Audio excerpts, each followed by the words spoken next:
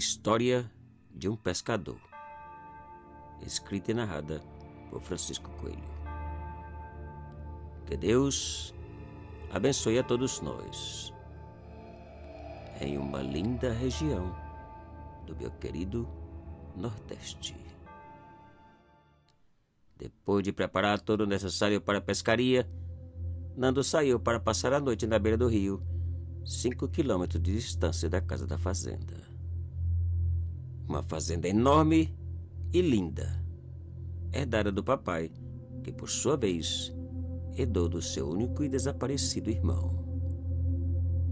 Como estava acostumado, o melhor horário para uma boa pesca era antes do amanhecer. Por volta das quatro da tarde, Nando saiu pensando em regressar no dia seguinte pela manhã. Depois de ter andado um pedaço, mata dentro, ele ouviu algo que lhe espantou e assustou. Ei! Nando parou e ficou a observar, curioso e ao mesmo tempo pensando se alguém se encontrava perdido ou caçando sem autorização. E ali ficou parado e escutando. Segundos depois, outro grito. Nando gritou perguntando quem era e se precisava de ajuda, mas ninguém respondeu. E mais uma vez. Ei! Agora acompanhado de outro grito que parecia responder de uma outra direção. Caçadores, pensou Nando. E os gritos continuaram gritando um ao outro. Na tentativa de descobrir quem eram os caçadores, Nando decidiu ir até o grito mais próximo para conversar e avisar que não deviam caçar por aquelas bandas. Após caminhar um bom pedaço, olhando entre moitas e árvores, Nando parou pensativo e arrepiado, pois à medida que ele avançava, o grito parecia se afastar. Que estranho. E Nando desistiu da ideia e seguiu em direção ao rio. Ao chegar na beira do rio, ele preparou uma fogueira, lugar onde dormir, e atirou o anzol na água para ver se pegava algum peixe para assar e comer. E pegou. Enquanto comia, ele ouviu umas vozes como de duas pessoas conversando. Os caçadores pareciam ter acampado nas proximidades. Depois de comer, Nando voltou a pescar, mas nada pegou. Os peixes nem sequer beliscaram. Enquanto isso, os caçadores continuavam conversando e dando risadas como dois amigos. Curioso para descobrir a identidade dos dois, Nando saiu agachado por entre as moitas rumo às vozes. Lentamente e em silêncio. De repente, a conversa dos caçadores parou, dando lugar a um silêncio total e de certa forma assustador. Pois nada, nem sequer o ruído de grilos, era ouvido. A mata e seus habitantes agora pareciam observar a Nando de toda parte daquela escuridão. Nando, assustado e sem saber para onde ir, resolveu voltar para a beira do rio. Logo depois, ele pôs um pouco mais de gravetos na fogueira e deitou. O silêncio continuou e ele dormiu. Por volta das cinco da manhã, Nanda acordou e rapidamente começou a pescar. E pescou. Porém, como no princípio da noite, ele não pegou nada. Até os peixes pareciam fazer parte daquele silêncio. Depois de uma hora tentando, ele desistiu, pegou suas coisas e saiu em direção à casa. Minutos depois, Nando parou ao ouvir passos na folhagem, poucos metros ao seu lado.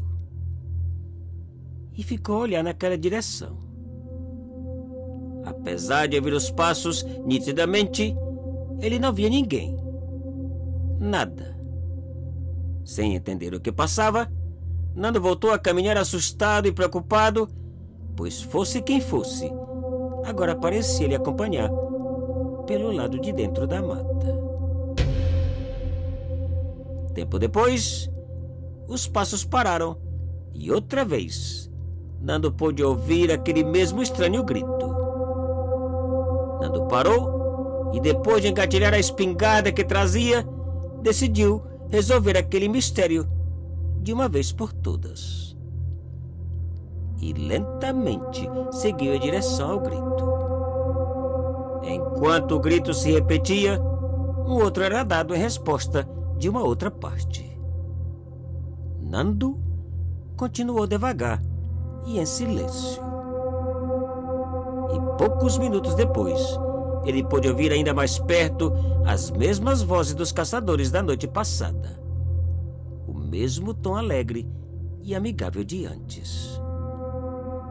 Nando, agachado atrás de uma moita, agora tentava ver os caçadores ainda mais curioso. Pois a voz de um deles parecia demasiado familiar. Mas pouco a pouco a tonalidade da conversa foi mudando e as vozes alterando, como se estivessem discutindo algo sem a menor possibilidade de acordo. De repente, enquanto a vítima caía gemendo sobre a folhagem, o atirador corria em disparada, se afastando do lugar. Nando Apavorado e trêmulo, não podia acreditar na ideia de ter acabado de ouvir um assassinato. A princípio, pensou em se afastar daquele lugar o mais rápido possível, com medo de ser acusado de um crime que não cometeu. Mas sua consciência não deixou. Não permitiu. Então, logo sentiu que o assassino havia desaparecido ele saiu à procura da vítima.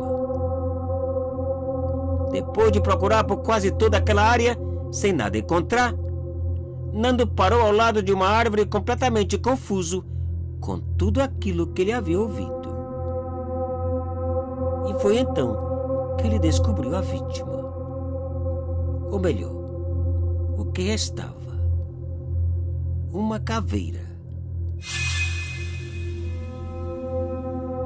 Nando agachou e, ao remover a folhagem que quase a cobria por completo, ele viu o cabo ou coronha de um velho rifle enterrado ao lado.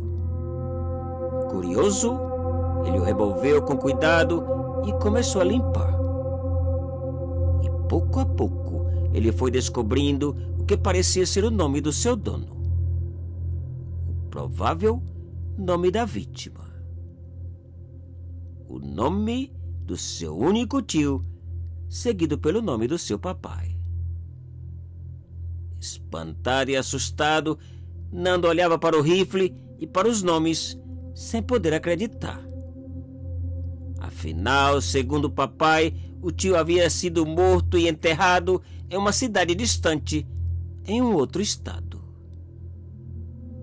Mas o mais chocante foi o que Nando descobriu escrito logo após o nome do papai.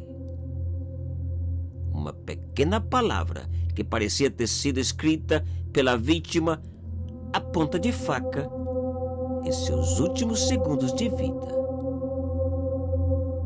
Dolorosa e eterna revelação. Assassino.